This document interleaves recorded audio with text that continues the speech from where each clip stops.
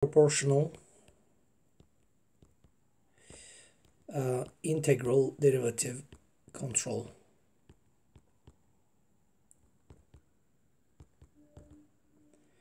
or PID control. So what we will try to do is to cover both the transient and the steady state analysis. Transient and uh, steady state. State analysis. Okay, so what we will consider is the usual uh, feedback structure. Um, so where we have essentially a plant that is being driven by a controller that we uh, label as GC of S.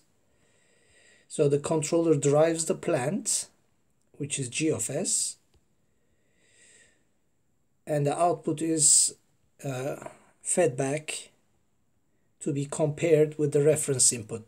Okay, so we have R of S here and Y of S over here.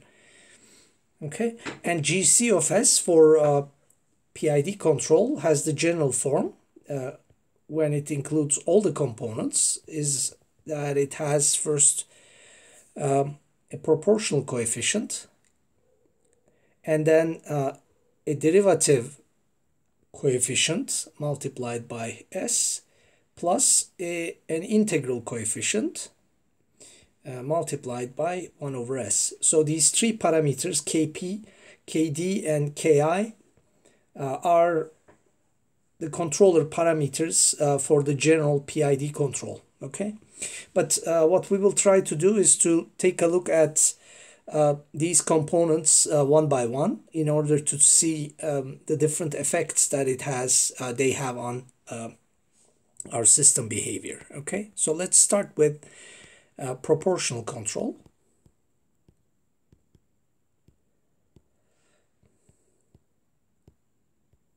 Okay? And let's assume that we have a plant model that is second order okay? So uh, the plant model that we have is g of s given by uh, 1 over uh, s square plus 10s plus 20 okay? So for the case of uh, proportional controller our controller is a simple gain okay so uh, in this case, let's try some color, okay? Uh, we have our specific block diagram is where we have only the gain as the controller and uh, the given system plant as our uh, plant model okay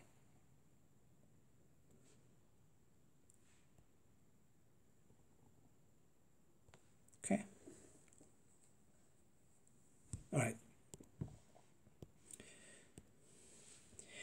So, uh, so what is the type of this system? The type is um, essentially a type 0 system, right? This is a type 0 system because it is a unity feedback system and we don't have any standalone integrators in the uh, feed forward path okay? So the denominator of the feed forward or open loop transfer function does not have uh, any freestanding s terms okay? So because this is a type 0 system we know that uh, uh, ess to a unit step unit step input is essentially uh, ESS equals 1 over uh, 1 plus uh, KP, but uh, this KP is a different KP. It's not the proportional uh, coefficient of the controller, but this is our uh, positional error constant, okay? Positional error constant.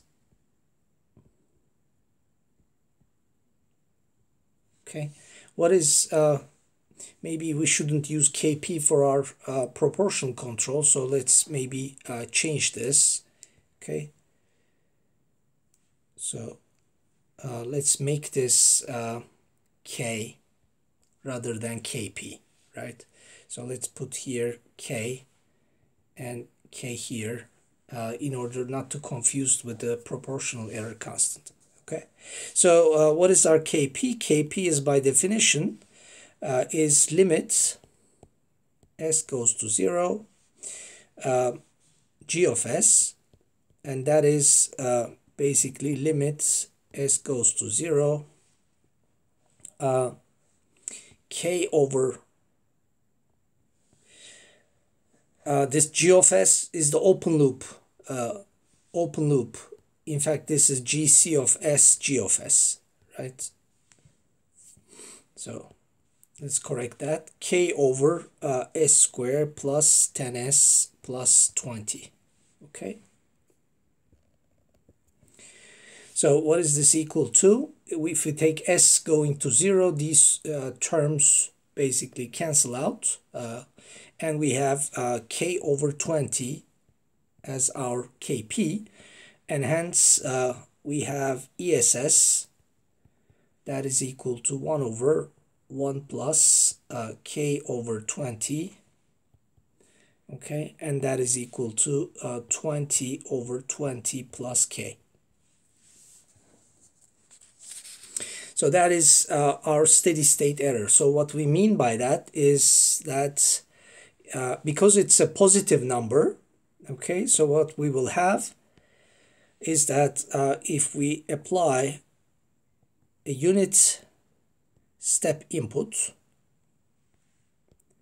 what we will have as the output uh, will basically look something like this, right? So we will have second order response and then it's the oscillations will will stop eventually and at the end we will have uh, ESS, a positive ESS, that means the response uh, will stay below um, the reference. Okay, we also see that uh, for this type of a system, a type 0 system, uh, basically the gain of the controller uh, has an effect on ESS and in fact if we increase the gain the steady state error uh, will decrease okay? ESS will be reduced which is a good thing uh, by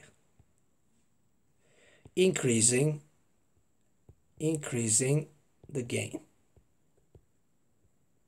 K of the controller. Okay? So we usually show this as uh, as such. Um, if K, K is increased, uh, ESS will be decreased. Okay, so K is the design parameter of the controller, and ESS is the resulting uh, performance uh, parameter. Okay, so uh, so we see that the gain has a positive effect on the steady state error, but is there any uh, is there any consequences to that? Uh, other consequences, okay? Uh, for example, uh, what happens uh, with the transient behavior, okay?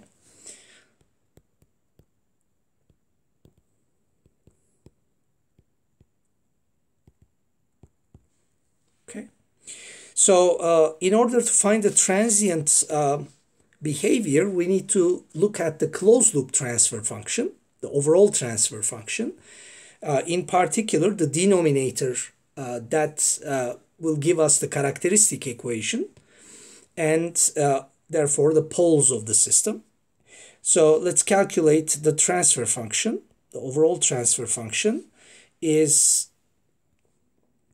um, well, we have the open loop here, gc of s, g of s, divided by 1 plus uh, gc of s, uh, g of s, because we don't have any, um, any block on the feedback path.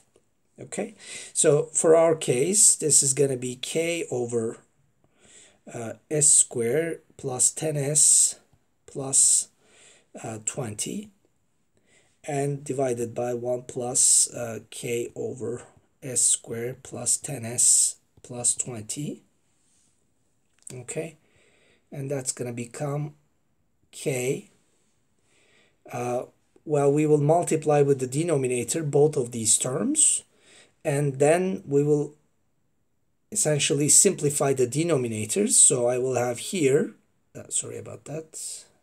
Let's erase that. Uh, s squared plus 10s plus 20 plus k. Okay, now in order to be able to analyze this, we have to make an assumption because uh, we have only studied the transient response of second order systems having the standard form. The standard form was uh, omega n square over s square plus 2 psi omega n s plus omega n square. So in the standard form, you can see that you have uh, this term uh, equal to this term, but in this case, we have k in the numerator, but 20 plus k uh, in the denominator. Okay. So uh, we will assume the standard form and only consider the denominator of our transfer function. Uh, if you want to uh, give further detail, you should basically say, uh, assuming that k is somewhat larger than uh, 20, uh, we can do that, okay? 5 to 10 times larger is usually um, the norm, okay?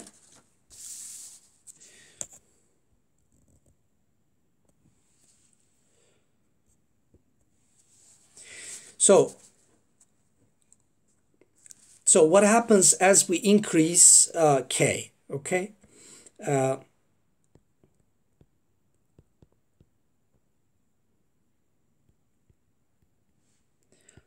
k is increased, okay?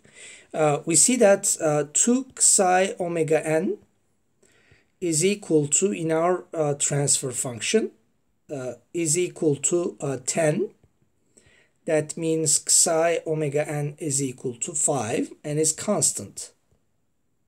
Okay?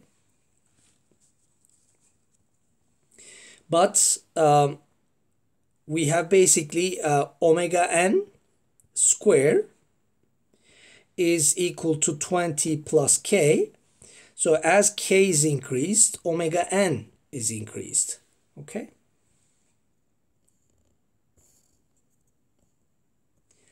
So if we want to sketch the pole zero diagram, uh, we see that basically psi omega n, which is the real part of the poles, psi omega n, uh, is equal to, so minus psi omega n is equal to minus 5. So this is constant over here. But as I increase k, okay, uh, I'm basically moving away from the origin, okay.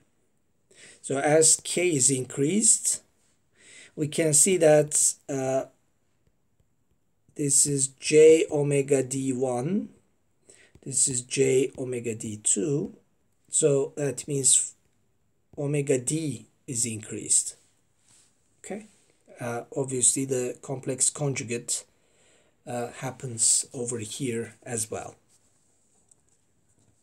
Okay, so what's the effect of that? Uh, first of all, uh, if this is our theta 1 and if this is our theta 2, we see that um, as k is increased, uh, omega d is increased, uh, also theta is increased. Okay. So uh, omega d increased means uh, faster oscillations.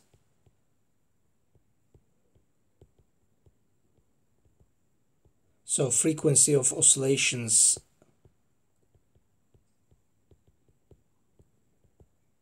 increase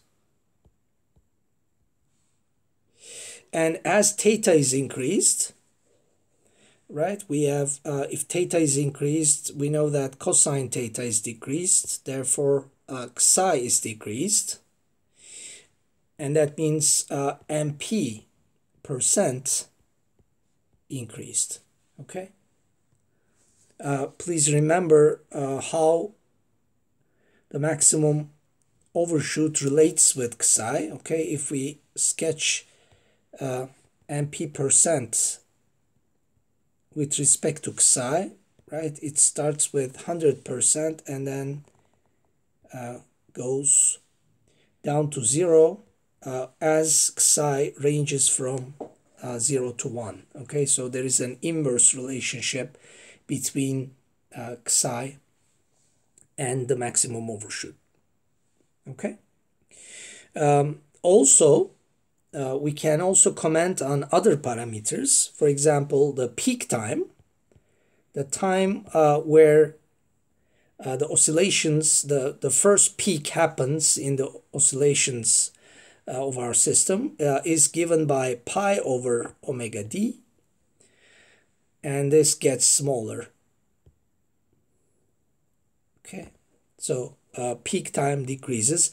Uh, so is the rise time because it has also a relationship given by pi minus um, theta over omega d.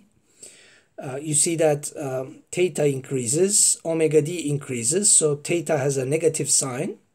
So it's going to decrease the numerator and also the denominator increasing decreases uh, essentially the, the term. So uh, TR also goes down as well as TD.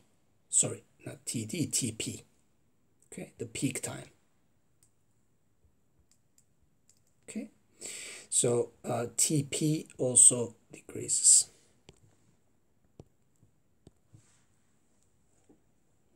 Okay, so if we uh, sketch uh, these two systems, right, as I increase kp, sorry, as I increase the controller gain k, uh, essentially we have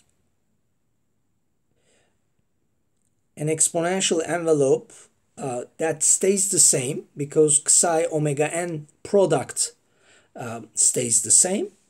But if this is your initial system, right, uh, that's going to have essentially a sin damped sinusoid like this uh, as we increase k, what we will have is that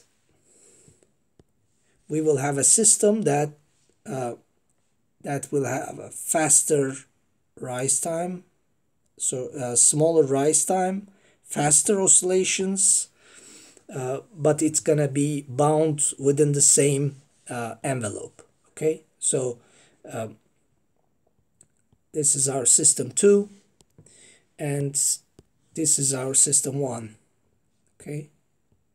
So this is our system 1 and this is our system 2 okay